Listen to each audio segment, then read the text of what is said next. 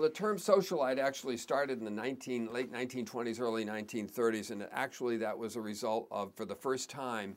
um, uh, younger people going out independently without having um, uh, the uh, uh, uh, uh, let's say, um, asserting themselves independently socially, going basically going to nightclubs and drinking and partying. And the term socialite was oh, just an easy way of saying these are people who could afford to do this without working or didn't have to work as much as other people and had more time on their hands.